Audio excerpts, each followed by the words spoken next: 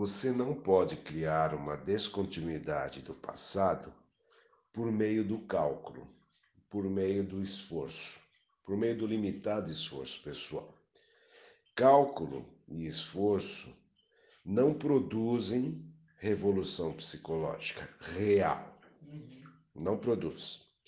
Não há como produzir uma vida nova pelo simples cálculo de querer uma vida nova. Não há como sair do velho enquanto se está dentro da velha estrutura psicológica.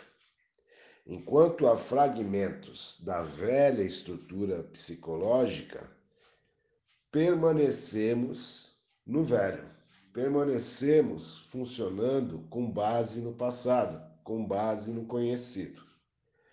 Deixar padrões de comportamentos, abandonar sistemas, crenças e programações é só uma primeira parte do processo de descondicionamento, mas ainda é uma mudança com base nos cálculos da velha estrutura que se cansou de tudo isso por perceber a limitação de tudo isso e perceber em tudo isso novas formas de condicionamento.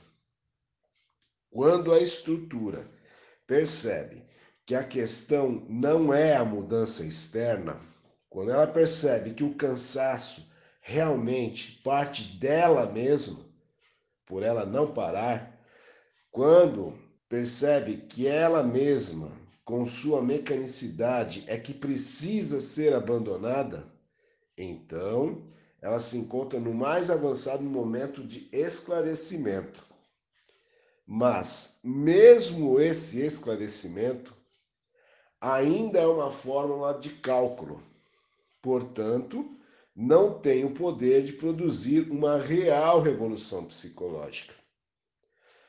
Parece-me que só por meio da incausada ocorrência de um estado fora de todo conhecido, fora de tudo que pode ser relembrado ou imaginado, é que a mente adentra na verdade de uma revolução psicológica.